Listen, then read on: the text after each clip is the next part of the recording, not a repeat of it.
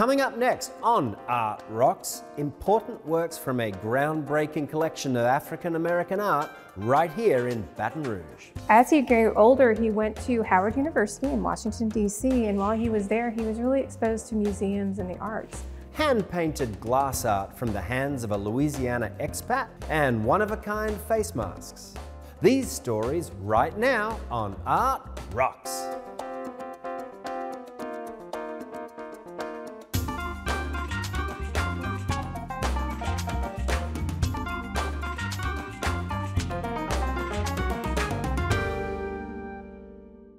Baton Rouge Museum is proud to provide local support for this program on LPB, offering diverse exhibitions throughout the year and programs that showcase art, history, music, and more. West Baton Rouge Museum, culture cultivated. Art Rocks is made possible by the Foundation for Excellence in Louisiana Public Broadcasting and by viewers like you. Thanks for joining us for Art Rocks with me, James Fox Smith from Country Roads Magazine. Today we're coming to you from the LSU Museum of Art in downtown Baton Rouge, where African American masterworks from the vast Paul R. Jones collection are currently on display. Who was Paul R. Jones and why is this collection so significant? Here's museum curator Michelle Schulte to put all the pieces together for us. Michelle, thanks for having us here today. So tell us, who was Paul R. Jones? This is Paul Raymond Jones. He was a gentleman that was born and raised in Bessemer, Alabama, which is a little tiny town right outside of Tuscaloosa, Alabama. Paul grew up in a rather poor area of town. His parents were part of the Tennessee Coal, Iron, and Railroad Mining Company, and they grew up in a camp there. But even though they didn't have a lot of money, they instilled in him a really deep appreciation for education. They wanted their children to succeed. Throughout his lifetime, Paul knew that he wanted to achieve. As he grew older, he went to Howard University in Washington, D.C., and while he was there, he was really exposed to museums and the arts. But as he was traveling through these museums and looking at different galleries and exhibitions, he just didn't see himself, an African American man, within the paintings and the prints and the sculptures that he was viewing. And so he knew early on that he wanted to eventually become a collector and amass enough artwork to give it to a university system upon his death. Paul R. Jones did just that. Over his lifetime, he collected well over 3,000 works of art, and he donated the bulk of the collection to the University of Alabama in 2008.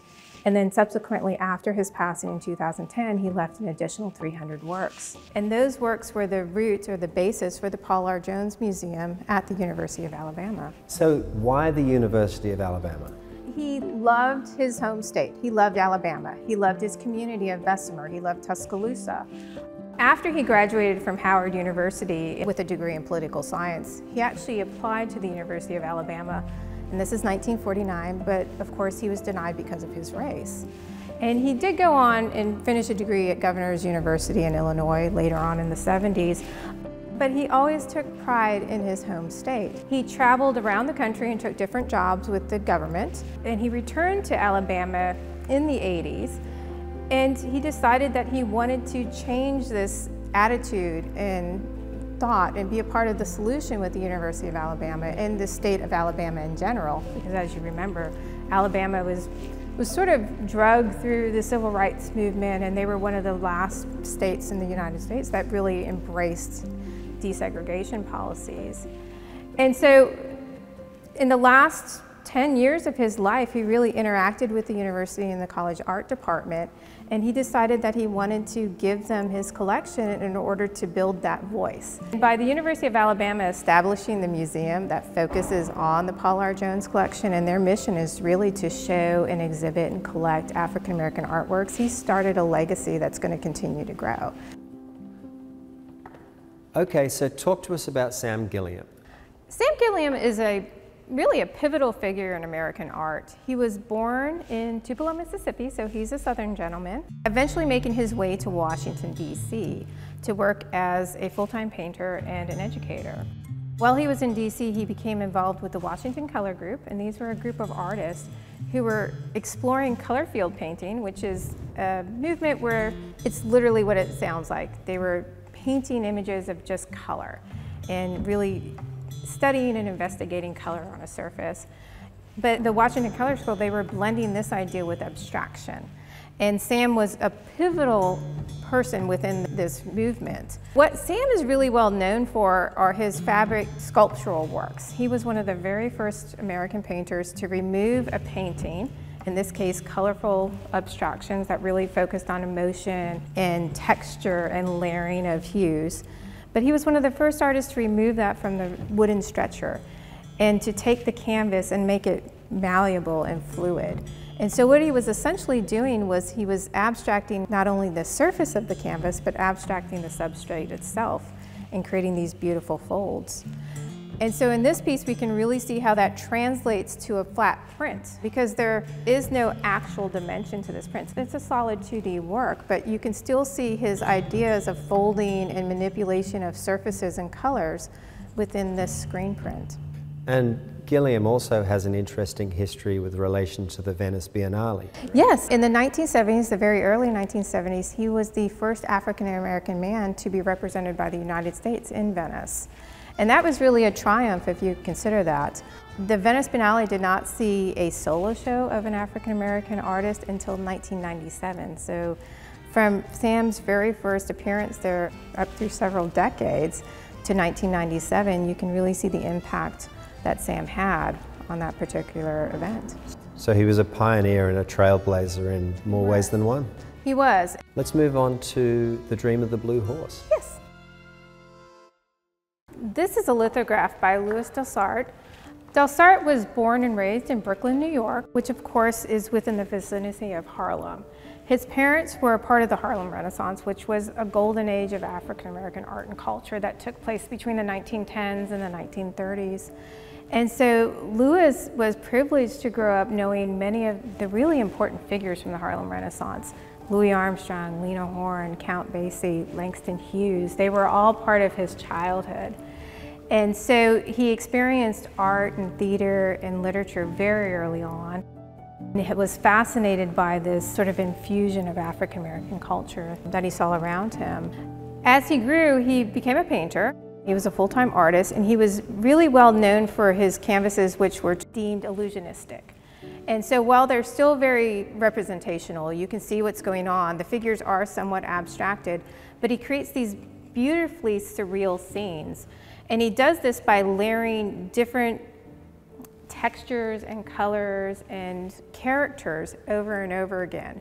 So he'll start with the base scene and he'll do a painting and then he'll walk away from it, let it dry. And then he'll come in and he'll add more layers of colors and characters and textures and then he'll walk away. And he'll sometimes do up to 10 to 12 layers. And while he's really well known for his paintings and getting this deep textural effect on his paintings, you can see the technique very clearly in the prints. This is quite special, right? Because were there not a number of prints, but this is one of the few surviving. Yeah, so this is an edition of 30, which is a really low edition of, of printmaking. Prints generally come in a limited number, and the, the, lower number that are made, the more valuable and the more sought after and the, and the more collected they are. What number is this? This one's number 10, and so they're all numbered at the bottom generally, and you'll find that's the information.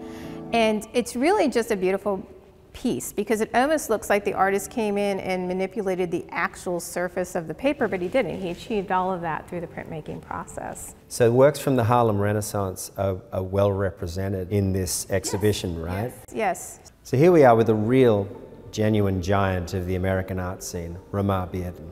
Tell us about this piece. Romare Bearden was a gentleman from North Carolina and he moved with his family to New York, and so he was part of the Great Migration northward. He was especially interested in abstract art and taking scenes from history. He was looking into African American arts and cultures and everyday scenes, and then abstracting in a way that he was infusing different types of references to other cultures, including West African art and Mesoamerican art.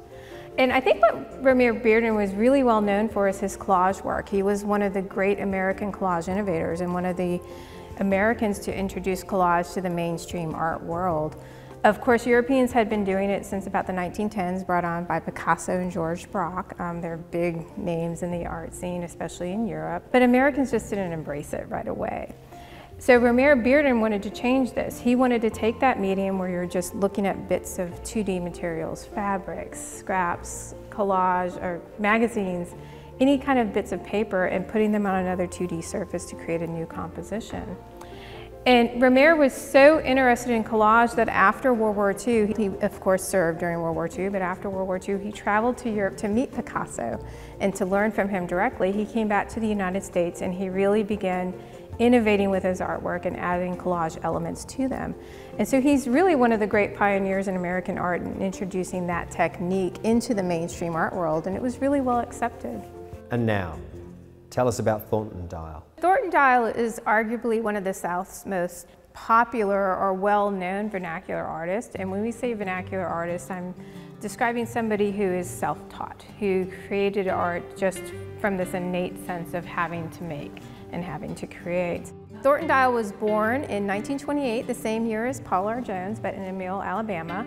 And as a child, he moved to Bessemer, Alabama, where his family worked within the Pullman Standard factory. He eventually worked himself. And Thornton was really fascinating. He just wanted to make art, and so he started collecting up bits and pieces of scrap wood, bones, materials, pieces of metal, and constructing them into assemblages that he would decorate his home with and decorate his yard with and give to his friends and neighbors. He was sort of discovered in a way.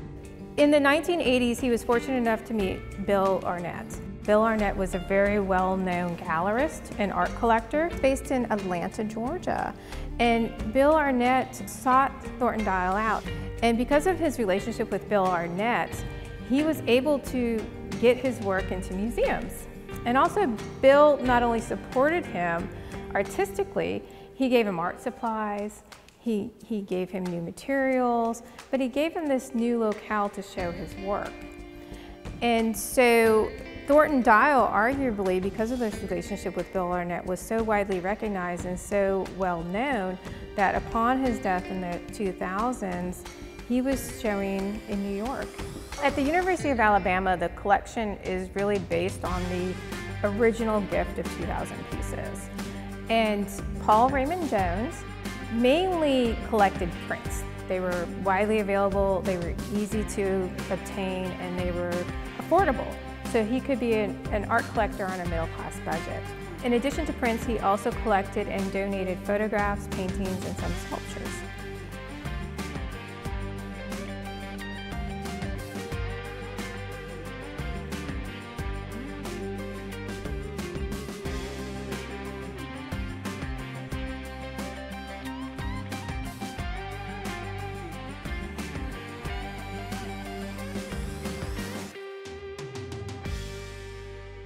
Our thanks to curator Michelle Schulte for introducing us to the collection. If art's what you're after, here are some other notable exhibitions taking place in the weeks to come.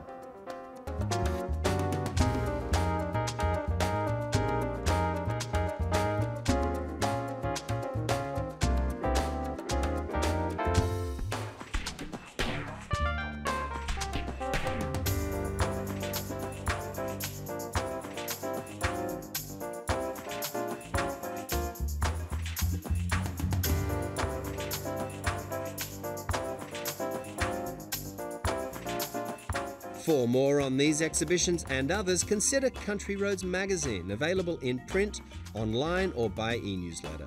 To see or to share any episode of Art Rocks again, visit lpb.org/slash artrocks. There's also an archive of all our Louisiana segments at LPB's YouTube page.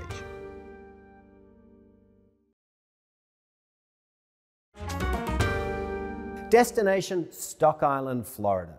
That's where Louisiana native Debbie Bodan has chosen to play out the current chapter of her career as a glass artist. Bodan creates striking, hand painted, fused and stained glass designs. Often, she incorporates salvaged, broken glass, repurposing abandoned and overlooked materials to create priceless pieces all over again.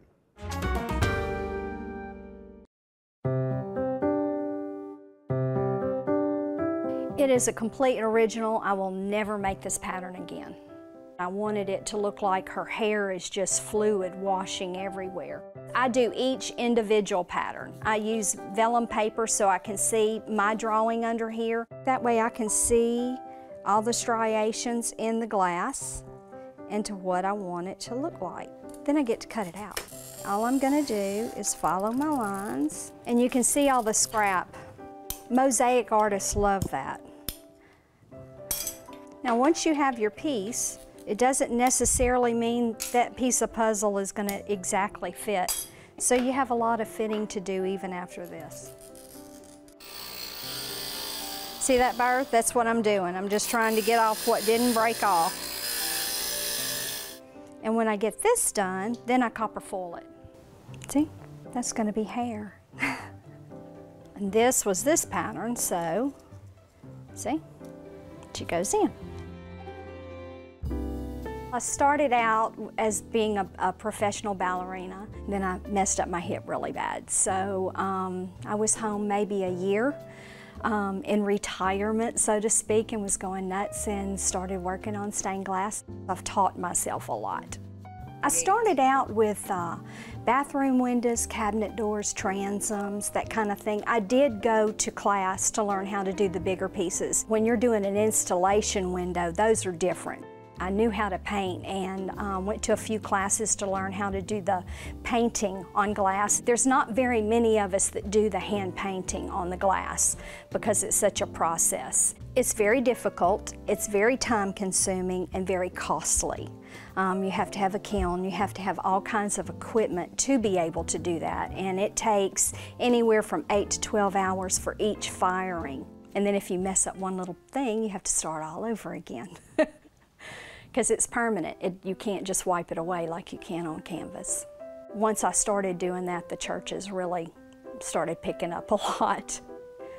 I restore uh, church windows. A while back, while I, living in Louisiana, Katrina hit. A gentleman that lived in Alexandria, Louisiana, he showed up on my doorstep one day with these two pieces wrapped in sheets. They were covered in mud, and the bulldozer, while cleaning up after Katrina, found these two pieces in a ditch about two or three blocks away. The story was his great grandmother had made those two windows. So because they were so destroyed, he brought me pictures of what they looked like, and I put new glass that matched it as best I could and totally gave him two brand new windows again. And on this piece, the customer had the back of the house renovated to have three windows across the back of the house. When the sun goes through the back of her house and it comes around, the sun hits a beveled piece, and you see there's several in here the fish, the shells. It throws prisms and rainbows all over inside the house, and I think she'll enjoy that aspect of that. It started out as a little drawing with this, and she chose from three or four different ones. You can see I give the clients different drawings on what they would look like. And she chose, of course, the mermaid swimming across the windows, and then I had to draw it to scale. You can see my notes all over it, what goes where. We have to flip it over, each piece here, and solder the back. Then we have to do the same process again and flip it back around, and then I have to glaze it. Then you have to polish it and clean it. And it takes me hours to detail one just because when you put this much into a piece, you want it perfect before it leaves. now we're off to Carson City, Nevada, where Charles Adams has things all wrapped up. You see, Mr. Adams has found fame for the craft of extreme gift wrapping, which elevates any object to a work of art even before the paper comes off.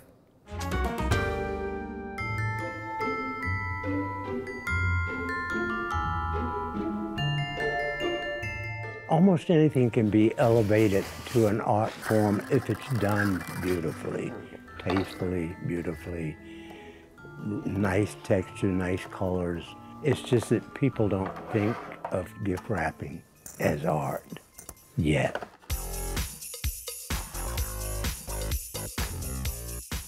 My name is Charles Adams, And when it comes to gift wrapping, I guess I look at it differently from other people.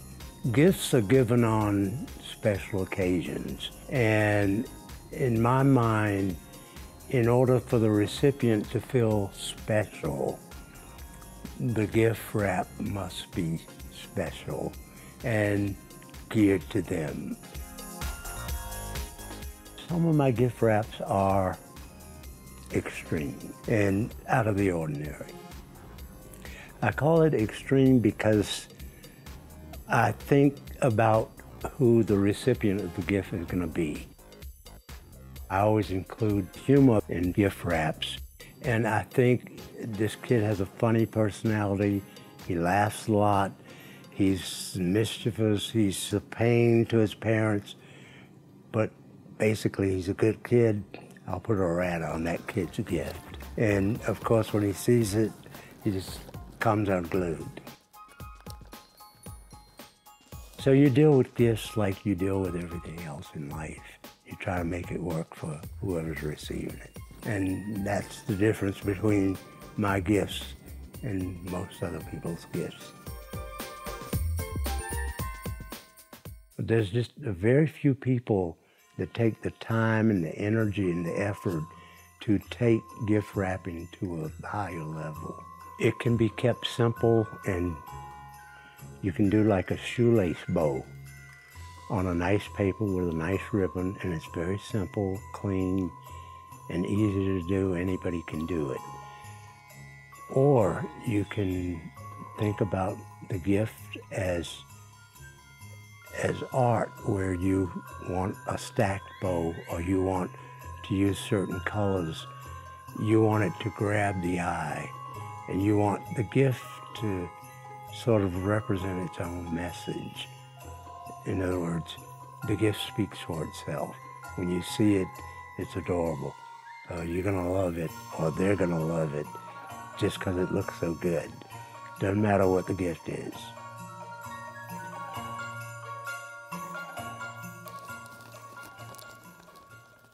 I worked at Columbia Pictures in Hollywood as a decorator, and my life was very interesting because I had been on sets with stars. As you get older and you've had a productive life and you've met some of the top-notch people in the world, you can't just become sedentary. You got to still be active, and you have to keep your mind going. Uniting twin passions for fashion and sustainability, designer Melissa Michelson uses the ancient technique of marbling to create vibrant, beautiful and reusable masks. So we go west to Michelson's California studio to find out how.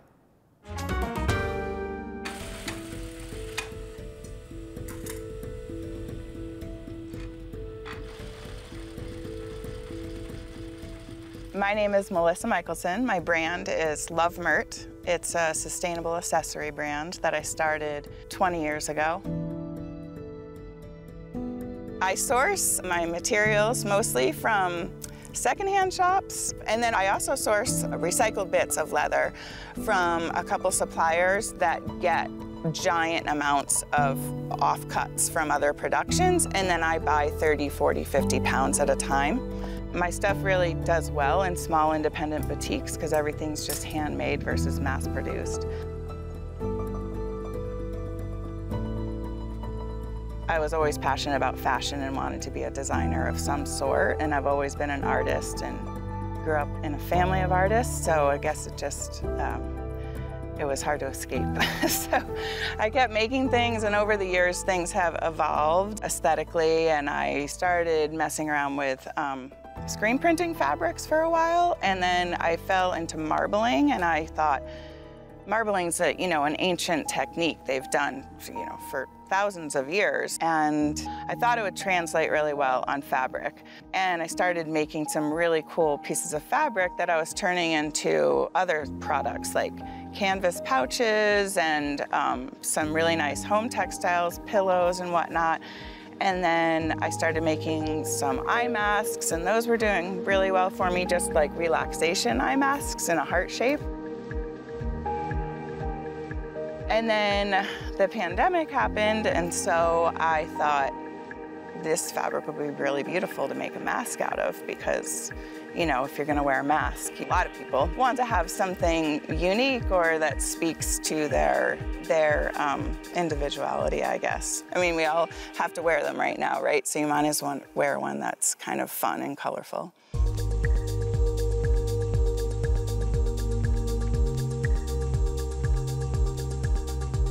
The process of me making a mask starts with marbling the fabric. It's a little bit of a wet process, it's a messy process, it's got many steps. I kind of use the water as my canvas. You have a tray of water. The water has a cellulose in it, so it makes it a little bit gelatinous. Then I, when you place the paints on top of the water, the paints float and you're able to kind of move them around and they, they disperse with each other, they push each other around, you layer it and layer it.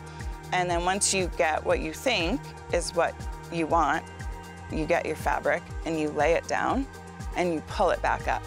And the result on the piece of fabric is amazing and you never get the same thing twice, although I can kind of control color combinations and a little bit of technique to do a production run of sorts, but everything's always gonna be a little different.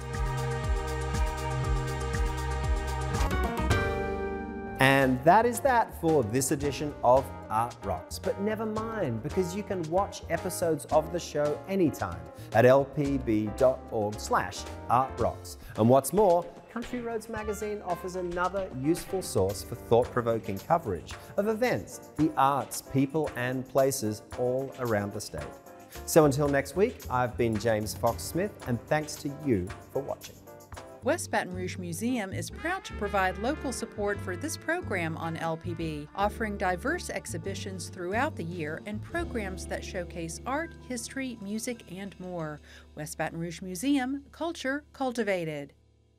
Art Rocks is made possible by the Foundation for Excellence in Louisiana Public Broadcasting and by viewers like you.